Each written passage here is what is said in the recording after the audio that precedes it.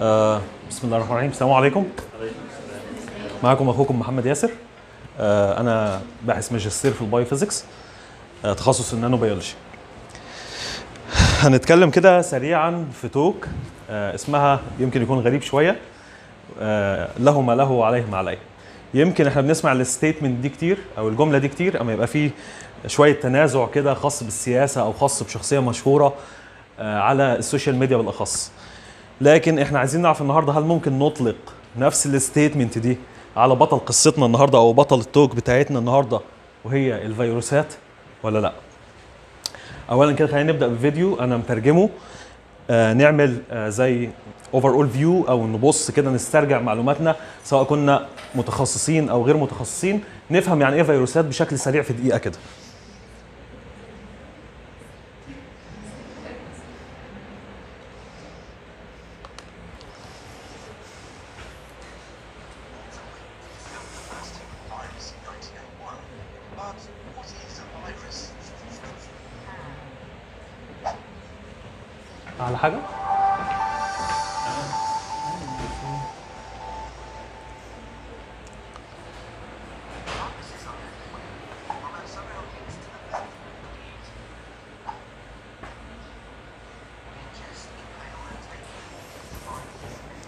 هو بيقول إن الفيروسات موجودة حوالينا في كل مكان بنتعرض للفيروسات من كذا روت بنتنفسها بناكلها مع الأكل تمام؟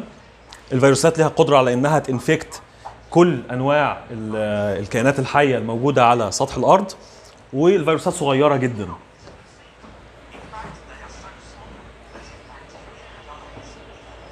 صغيرة لدرجة إن البكتيريا نفسها لو كان عندها عينين مش هتقدر تشوفها.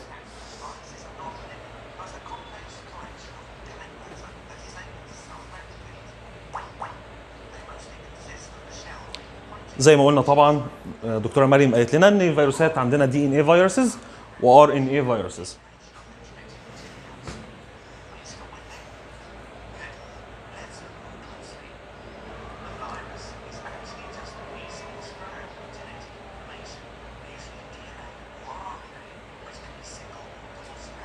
زي ما قلنا إحنا عندنا single strand أو double strand سنجل ستراند دي ان اي أو سنجل ستراند ار ان اي وكمان دبل ستراند دي ان اي أو دبل ستراند ار ان اي يعني شريط أو شريطين.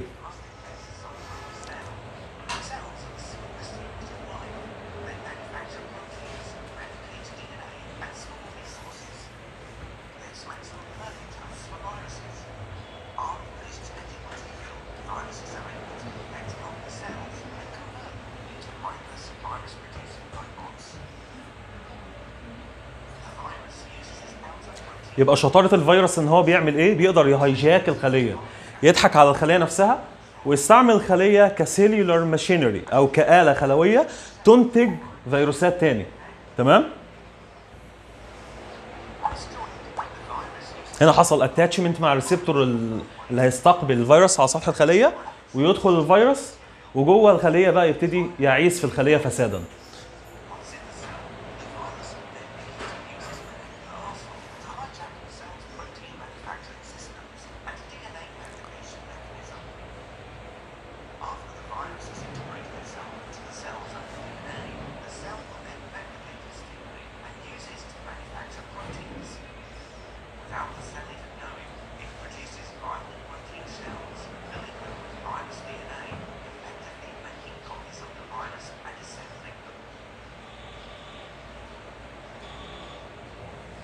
يحصل self assembly أو تجميع ذاتي وبعد كده الفيروسات دي أول ما بيكتر عددها في الخلية يحصل rupture أو انفجار للخلية وتطلع تدور بقى على host من نفس نوع الخلية عشان تبتدي تعديها وتعيد ال cycle بتاعتها دي تاني.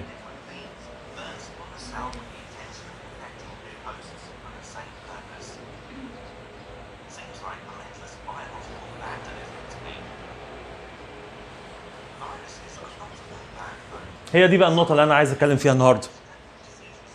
إن إحنا نبتدي نفكر من زاوية تانية.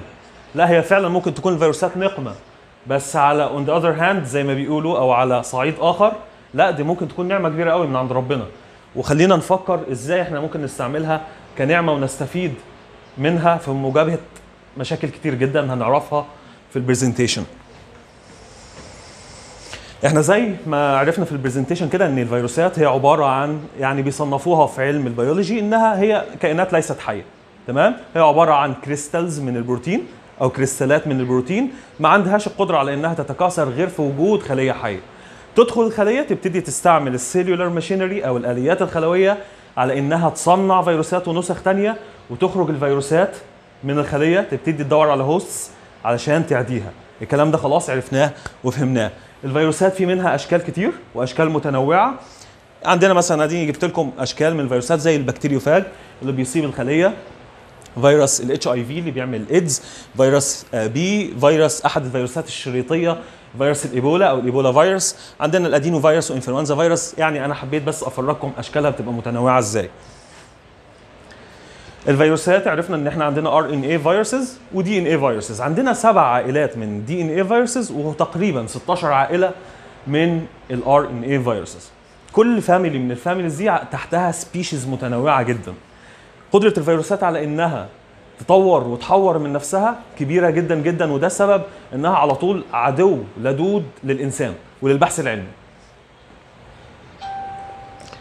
عرفنا إن الفيروسات بتصيب كل أشكال أنواع الحياة على سطح الأرض. عندنا فيروسات بتصيب الإنسان عندنا فيروسات بتصيب حتى النباتات عندنا فيروسات حتى البكتيريا ما سلمتش من الفيروسات وبالأخص إيه؟ البكتيريوفاج. اول فيروس من الفيروسات اللي أنا حابب نبص عليها بصة سريعة كده قد إيه الفيروسات كانت فتاكة في تاريخ ال- البشرية وكانت عدو لدود جدا للإنسان. فيروس ال HIV فيروس الاتش اي في هو الفيروس اللي بيسبب نقص المناعة المكتسب أو الايدز تمام؟ فيروس الاتش اي في مشكلته الكبيرة إن هو بيقدر إن هو يدخل يخترق الجهاز المناعي ويدمر ذراعي جهاز المناعة اللي هي إيه؟ ال lymphocytes. بالأخص مين؟ ال T cells وال B cells تمام؟ وبالتالي فهو بيسيب لي ال patient بتاعي أو المريض بتاع مريض الايدز دوت vulnerable تماما أو أو آم، يعني زي الجندي اللي في وسط المعركة كده ومش معاه أي سلاح يدافع عن نفسه. فال risks بتاعة إن هو يتصاب بأي pathogen تاني. ولو كان ضعيف جدا أي بكتيريا ضعيفة جدا ممكن تؤدي بحياته والمريض يتوفى من أضعف نوع من أنواع البكتيريا. وكمان ال risks of getting cancer أو إن المريض يجي له cancer بترتفع جدا. فمعظم ال patients بتوع الايدز عاده بيجي لهم سرطانات وبيتوفوا من السرطان. تمام؟ فيروس الايدز ال ال الإحصائيات بتقول إن هو تقريبا قتل 32 مليون بني آدم من ساعة ما اكتشفناه سنة 1980 حتى الآن. الدراسات كمان بت- بتقول إن هو أصلا حصل نتيجة mutation على نسخة تانية من الفيروسات اسمها ال SIV كانت بتصيب الشمبانزي وبعد كده حصل mutations وطورت من مقدرتها على إنها تنتقل من الشمبانزي للإنسان. تمام؟ فبقت من ال SIV بقت ال HIV وحصل الدراسات برضو بتقول إن حصل بدايات عدوى وانتقال من الشمبانزي للإنسان أو من ال SIV لل HIV في نهايات ال 1800 تاني فيروس معانا هو فيروس ال smallpox أو فيروس أحد الفيروسات اللي بتسبب مرض الجدري بس ده أصعب شوية من ال- ال- ال cytomegalovirus اللي مريم اتكلمت عليه وال chickenpox. ال small virus آه، الإحصائيات بتقول إن هو كان بيقتل واحد من كل ثلاثة بيحصل لهم عدوى من فيروس ال smallpox. آه، في القرن العشرين أما بدأت ال pandemic بتاعت أو الجائحة بتاعت ال smallpox تقريبا قتل 300 مليون بني آدم. 300 مليون بني آدم يعني تخطينا ربع مليار إنسان مات من ال smallpox. سنة 1980 وبفضل اللقاحات والتطور العلمي والبحث العلمي المستمر العالم أعلن إن هو أصبح خاليا من وباء ال smallpox. بطل جديد معانا النهارده هو ال flu أو الإنفلونزا. لكم أن تتخيلوا إن الإنفلونزا الموسمية أو دور الإنفلونزا اللي إحنا بناخده كل سنة ده هو مش بمنتهى البساطة اللي إحنا فاكرينها. إحنا عشان الجهاز المناعي بتاعنا كويس. لكن طبقا لإحصائيات ال WHO 500 ألف إنسان بيموتوا سنويا من الإنفلونزا الموسمية اللي إحنا بنستضعفها. عندنا كمان أكبر جائحة في تاريخ الوبائيات خاصة بفيروس الإنفلونزا كانت سنة 1918 وكان اسمها ال Spanish flu أو الإنفلونزا الأسبانية. دي لوحدها أصابت 40% من البشر على سطح الأرض وقتلت تقريبا 50 مليون بني آدم منهم. ده شكل فيروس الإنفلونزا تحت الميكروسكوب الإلكتروني. أحد أفتك الفيروسات على وجه البسيطة ده أنا لو كان أنا في إيدي إن أنا أدي آه، مثلا زي كده نقاط فأنا هديه ال full mark من غير ما أفكر وهو فيروس ال rabies. فيروس ال rabies اللي هو الفيروس السعار. اللي بينتقل من الكائنات المسعورة أو المصابة بفيروس ال rabies وبالأخص الكلاب لما تعض الإنسان. فيروس ال rabies مع إني اكتشفنا vaccine علشان نحارب ال- ال rabies إلا إنه still من سنة 1920 تقريبا بالظبط إلا إنه still لحد دلوقتي بيقتل حوالي 55 ألف إنسان سنويا. وما زال مشكلة كبيرة في الأماكن المتخلفة من الهند ومن قارة أفريقيا. ليه أنا بقول إن هو فتاك جدا؟ لأن 100% وفاة. مفيش أي مفر من الموت من من فيروس ال rabies في حالة الإصابة بيه وما خدش ال vaccine بتاعه. تمام؟ كمان مشكلته إن أنا فترة الحضانة بتاعته ثلاث شهور. يعني أنا ممكن أبقى عندي الفيروس ومش واخد ال vaccine ومهمل وفاكر نفسي كويس خالص وآجي آخر شهر هحتضر. مفيش تفكير. هموت يعني هموت. الحقيقة إن ال documentaries أو الوثائقيات كانت صعبة جدا فما رضيتش إن أنا أجيب أي منظر من مناظر احتضار ال patients في في المراحل النهائية من المرض ده. لكن تقدروا إن أنتوا لو حد يعني عنده قلب وعايز يتفرج يتفرج براحته. فأنا اكتفيت إن أنا أجيب لكم صورة كلب مصاب بال rabies. شايفين منظره عامل إزاي؟ أي كلب هيصاب بال rabies هو هيموت. أي قط مصاب بال rabies هيموت مش هيستمر. يعني مفيش كلب مسعور بيفضل عايش حياة طبيعية. تمام؟ فيروس جديد معانا من الفيروسات الفتاكة هو فيروس الإيبولا أو ال Ebola virus. أحد الفيروسات الشريطية. مشكلة فيروس الإيبولا أو آه إن هو ليه عنيف؟ لأن هو بيسبب مرض خطير اسمه مرض الحمى النزيفية.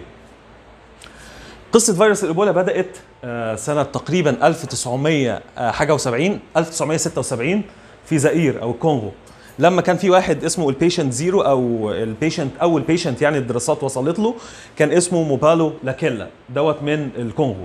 وكان في عطلة صيفية كده وهو راجع راح كل آه لحم آه خفافيش مشوي. هما في الثقافة بتاعتهم كده. لحم خفافيش مشوي وهو راجع كده يعني حب يمزمز. بس فلما كلوه بعد الموضوع بعد ما كل ورجع البيت بعدها بأسبوع بدأت تظهر عليه أعراض شديدة جدا من ارتفاع من الحمى ارتفاع درجة الحرارة فقدان الوعي بدأ يخرج دم من كل منافذ جسمه آه، قيء مدمم إسهال مدمم لحد حتى كل محاولات إسعافه والراهبات اللي كانوا بيحاولوا يسعفوه في مستشفى الكنيسة اللي كانت موجودة في قريته. كل المحاولات ديت باءت بالفشل. الأعراض بتاعته آه، صعبة جدا. أعراضه زي ما إحنا شايفين كده بيبقى حمى fever بيبقى unexplained hemorrhage أو نزيف غير مبرر من كل منافذ الجسم. عندي severe headache صداع شديد آه، عندي stomach pain أو ألم آه، في المعدة. عندنا muscle pain و vomiting عندنا مشاكل في العضلات ووهن شديد في العضلات وترجيع مستمر وبلادي دياريه أو إسهال مدمم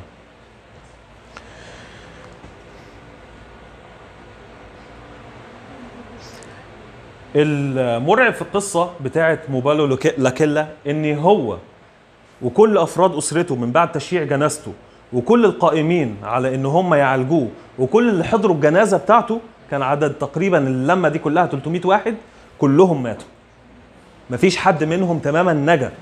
ومن ساعتها وكان الموضوع حاجة مرعبة جدا لكل علماء الفيرولوجي المهتمين بدراسة الوبائيات لحد ما حصل الكابوس فعلا سنة 1000 آه، سنه 2014 ورجع فيروس الإيبولا في غرب أفريقيا كجائحة مكتملة الأركان. أصاب 28 أ- 29000 نقول تقريبا أو خلينا دقيقين 28400 مات منهم 11300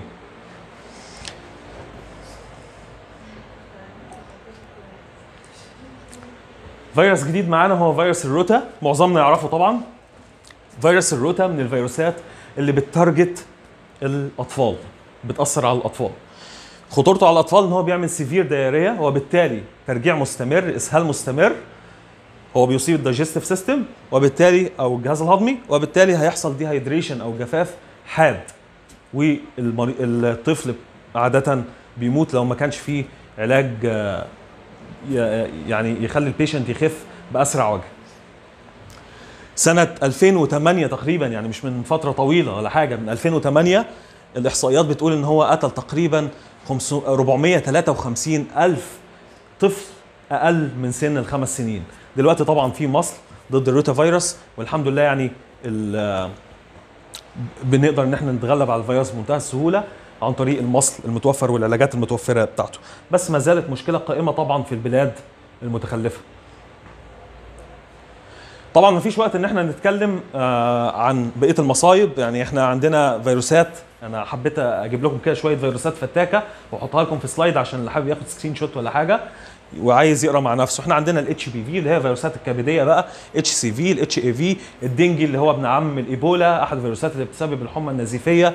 عندنا ال hantavirus اللي جه من الفئران ال SARS-CoV وال SARS-CoV 2 وعيلة الكورونا.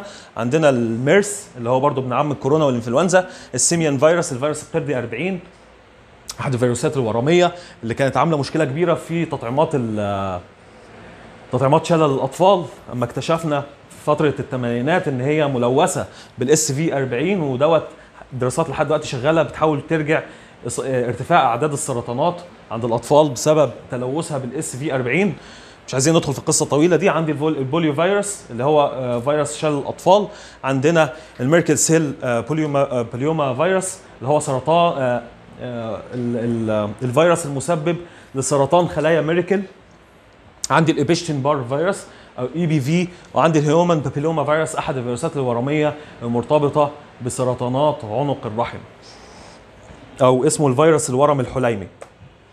فبصوت باز لايتيير كده viruses viruses everywhere إحنا محاطين بالفيروسات من كل جانب وهنشوف دلوقتي أرقام مرعبة. إحنا كل دوت فعليه ما عليه. لسه ما دخلناش في الأول لا. فالاحصائيات أو ال biostatistics بتقول إن إحنا عندنا 380 تريليون فيروس على جسمنا وجوانا. يعني إحنا الفيروسات مش بعيدة عننا زي ما إحنا متصورين. إحنا الخلايا بتاعت الفيروسات أكبر من خلايانا نفسها. التقديرات الإحصائية بتقول إنها 10 مرات أكبر من البكتيريا اللي مغطية جسمنا وموجودة جوه جسمنا.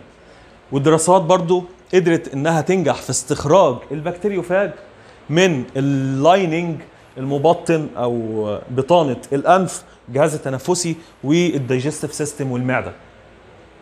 تخيل كده إن أنت جعان في مرة ورحت كلت سندوتش من عند همهم مليان ما شاء الله سالمونيلا.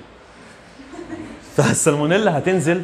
خلينا بقى نفكر بقى في الجانب الإيجابي. إن أنا عايز أقول لك فيروسز ديزيرف ا better reputation. الفيروسات تستحق في الوسط العلمي. وحتى في وسط ال pop science إنها يبقى ليها سمعة أفضل من كده بكتير. إزاي؟ يمكن فيروس زي فيروس ال phage من الفيروسات اللي إحنا عارفين إنها بت target البكتيريا. فيروس ال phage تم اكتشافه من فترة طويلة جدا على عكس ما, ما, ناس كتير ممكن تكون فاكرة من أكتر من 100 سنة. بل بالعكس ده إن العلماء يفكروا في إن هم يستعملوا فيروسات الفاج كبديل للمضادات الحيوية. ده كان قبل ما إحنا نوصل للمضادات الحيوية أصلا. لحد ما جت المضادات الحيوية واكتشفناها بالصدفة سنة 1940 ووقفت كل الأبحاث اللي كانت شغالة على الفاج إن إحنا نشتغل آه الفاج علشان نحارب بيه البكتيريا.